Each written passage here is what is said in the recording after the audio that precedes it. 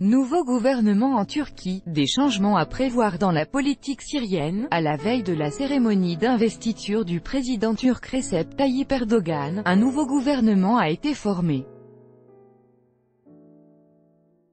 La nomination de Roussar Pekchan au poste de ministre du Commerce a suscité de l'espoir quant à d'éventuels changements positifs dans la politique syrienne d'Ankara.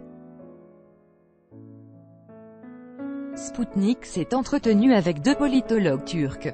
La nomination au poste de ministre du Commerce de Roussar Pekchan, qui a auparavant dirigé le Conseil économique turco-syrien auprès du Conseil pour les rapports économiques extérieurs de Turquie, est prometteuse, a estimé Hassan Ounal, professeur en relations internationales à l'université Atulum, dans un entretien accordé à Sputnik. La politique de la Turquie envers la Syrie ne peut plus rester la même.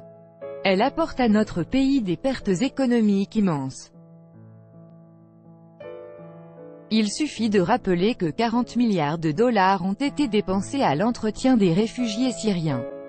Aussi, la nomination au poste de ministre du Commerce d'une personne qui a œuvré auparavant à la promotion des relations commerciales avec la Syrie est-elle, à mon avis, positive et prometteuse à la fois, a expliqué l'interlocuteur de l'agence.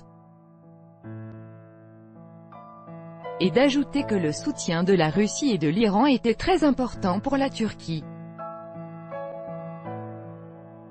Le maintien des relations d'amitié avec ces deux pays dépend entre autres de la révision par la Turquie de sa politique syrienne. Si Ankara normalise ses relations avec Damas, cela contribuera au renforcement ultérieur de la coopération entre Ankara, Moscou et Téhéran, a relevé l'universitaire. Mais le politologue turc Barış Doster, autre interlocuteur de Sputnik, est plus réservé dans son analyse de la mise en place du nouveau gouvernement. L'actuel chef de la diplomatie, Mevlut Cavusoglu, a gardé son poste au sein du nouveau gouvernement.